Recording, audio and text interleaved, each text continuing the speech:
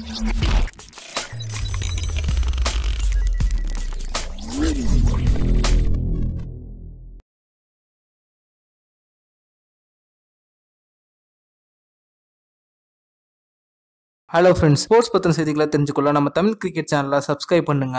India மற்றும் ஆஸ்திரேலிய அணிகளுக்கு இடையேயான இரண்டாவது ஒரு நாள் போட்டியில் மகேந்திர சிங் தோனி ஒரு முப்பத்தி மூணு ரன்களை எடுப்பதன் மூலமா ஒரு மிகப்பெரிய சாதனை பட்டியலில் இடம் பிடிக்கிறதுக்கான வாய்ப்பு வந்து இருக்கு அது என்ன அப்படிங்கறத பத்தி நாம இப்போ பார்ப்போம். இந்திய அளவுல சர்வதேச போட்டிகள்ல அதாவது டெஸ்ட் ஒரு நாள் போட்டி மற்றும் டி டுவெண்டி போட்டிகள் இந்த மூன்று விதமான போட்டிகள்லையும் சேர்த்து அதிகமான ரன் எடுத்தவர்கள் பட்டியலில் பாத்தீங்க அப்படின்னா முதல் இடத்துல மாஸ்டர் பிளாஸ்டர் சச்சின் டெண்டுல்கர் வந்து இருக்காரு. இவர் வந்து மூன்று விதமான போட்டிகளையும் சேர்த்து முப்பத்தி நாலாயிரத்தி முன்னூத்தி ஐம்பத்தி ஏழு ரன்கள் எடுத்திருக்காரு. அதே போல இரண்டாவது இடத்துல பாத்தீங்க அப்படின்னா ராகுல் டிராவிட் இருக்காரு. இவர் வந்து இருபத்தி நாலாயிரத்தி இருநூத்தி எட்டு ரன்கள் எடுத்து இரண்டாவது இடத்துல இருக்காரு. மூன்றாவது இடத்துல பாத்தீங்க அப்படின்னா தற்போதைய இந்திய அணியின் கேப்டனான விராட் கோலி இருக்காரு. பத்தொன்பதாயிரத்தி நானூத்தி ஐம்பத்தி மூணு ரன்கள் எடுத்து இவர் மூணாவது இடத்துல இருக்காரு. அடுத்ததா நாலாவது இடத்துல இந்திய அணியின் முன்னாள் கேப்டனான சௌரவ் கங்குலி இருக்காரு. இவர் பதினெட்டாயிரத்தி ஐநூத்தி எழுபத்தி ஐந்து ரன்கள் எடுத்து நாலாவது இடத்துல இருக்காரு. ஐந்தாவது இடத்துல பாத்தீங்க அப்படின்னா இந்திய அணியின் முன்னாள் அதிரடி ஆட்டக்காரரான வீரேந்தர் சேவாக். இவர் பதினேழாயிரத்தி இருநூத்தி ஐம்பத்தி மூணு ரன்கள் எடுத்து ஐந்தாவது இடத்துல இருக்காரு. இதற்கு அடுத்த இடத்துல பாத்தீங்க அப்படின்னா இந்திய அணியின் விக்கெட் கீப்பரான மகேந்திர சிங் தோனி இருக்காரு. இவர் வந்து சர்வதேச போட்டிகள்ல பதினாறாயிரத்தி தொள்ளாயிரத்தி அறுபத்தி ஏழு ரன்கள் எடுத்திருக்காரு. இவர் இன்னும் முப்பத்தி மூணு ரன்களை எடுத்தாருன்னா ஒட்டுமொத்த சர்வதேச அளவு போட்டிகள்ல பாத்தீங்க அப்படின்னா பதினேழாயிரம் ரன்களை கடந்த ஆறாவது இந்திய வீரர் அப்படின்ற ஒரு பெருமையை வந்து பெறுவாரு. இது வந்து மகேந்திர சிங் தோனியோட கிரிக்கெட் வாழ்க்கையில ஒரு பெரிய மைல்கல்லா இருக்கும் அப்படின்னு எதிர்பார்க்கப்படுகிறது. இந்த வீடியோ உங்களுக்கு பிடிச்சிருந்துச்சுன்னா லைக் பண்ணுங்க ஷேர் பண்ணுங்க. நன்றி.